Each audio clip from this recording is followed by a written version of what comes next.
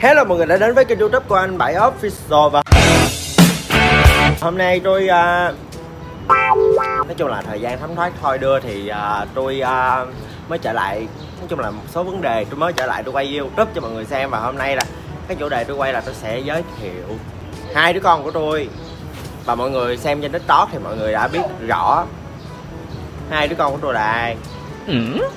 Bé nhỏ nhỏ là bé bông và bé lớn là bé Ruby giới thiệu thì cũng đã giới thiệu rồi bây giờ là tôi sẽ dẫn hai đứa con tôi đi tắm và đi chơi. Let's go.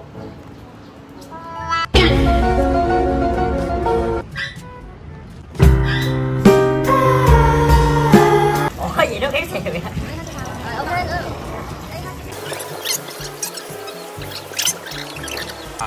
Không ấy à, xách à, một xô trong nhà tắm ra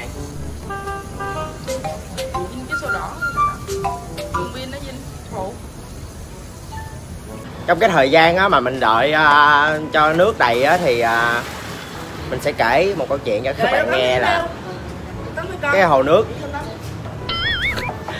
Cái hồ nước cái cái dòi của nó rất là yếu sinh lý. Cho nên là mình đã nhờ uh, hai đứa kia bằng bằng ơi! Bằng bằng pin đi đổ uh, à, bê giờ mới nói gì hết trơn á bây giờ quay tiếp nha.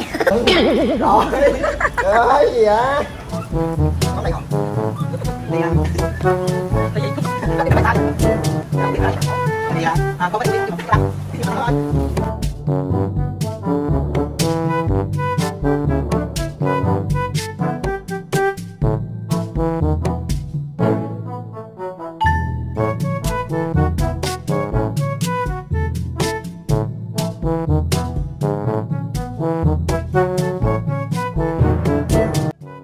sau khoảng thời gian chiến tranh thì uh, hai đứa con tôi nó không có hợp tác.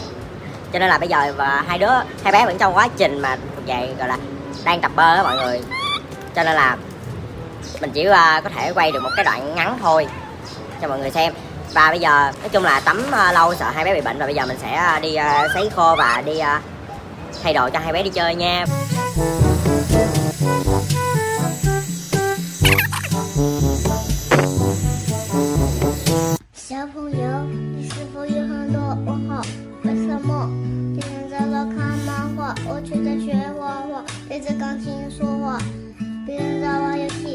我学杯子 A B C 我学 bây giờ nó đã xong phần mặc đồ cho hai đứa con của tôi và bây giờ hả là nói chung là cái chủ đề hôm nay là tôi quay là gì để giới thiệu hai đứa con của tôi thôi bông và ruby thì tôi quay đến tận bây giờ luôn là có thể là tôi sẽ quay thêm cho mọi người xem nữa thì nếu mà mọi người ủng hộ cái tập này á thì tôi sẽ ra cái tập sau cho mọi người xem để xem ba cha con của tôi sẽ đi chơi những gì và bây giờ nếu bạn cảm thấy thích cái video này thì hãy like, share, subscribe cho tôi nha và cảm ơn mọi người. Bye bye.